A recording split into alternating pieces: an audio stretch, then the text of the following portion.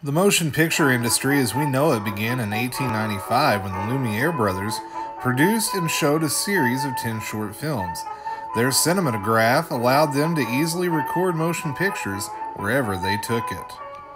This led to the early 1900s where two big names emerged in the world of film production Georges Méliès and Edwin S. Porter. Méliès developed one of the first movie studios in Europe next to his home and was famous for the success of his 1902 film, A Trip to the Moon. Don't expect an epic soundtrack with this film, though. Most movies didn't have sound added until the late 1920s. Porter became famous for his 1903 film, The Great Train Robbery, which was one of the first films to maintain continuity throughout the entire film.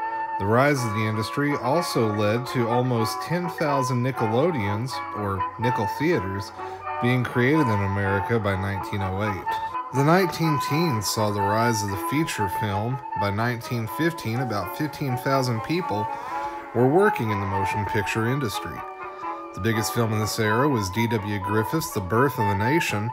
The film was almost three hours long and highly controversial because of its portrayal and glorification of the Ku Klux Klan during Reconstruction.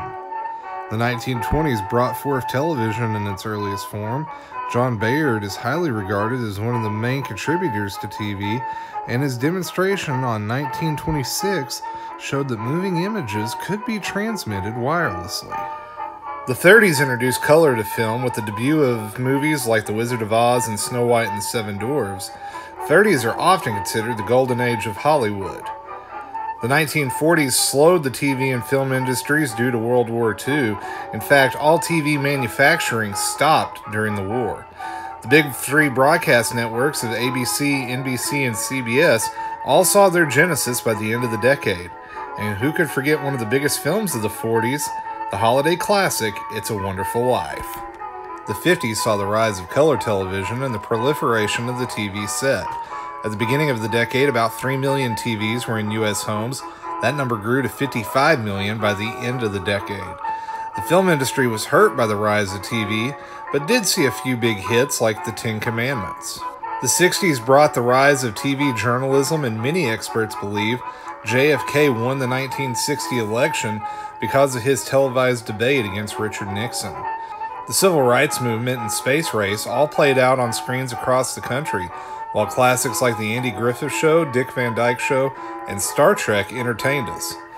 60s were pretty hard on film. In fact, 1962 was the slowest year of the modern Hollywood system, with only 120 movies being produced. The 70s brought about the end of the Vietnam War, the rise of the TV sitcom and game show, and was the genesis for one of television's most popular shows, MASH, which to this day has the highest rated television finale. Film saw the beginning of the blockbuster during the 70s, with Jaws and Star Wars bringing new life to Hollywood.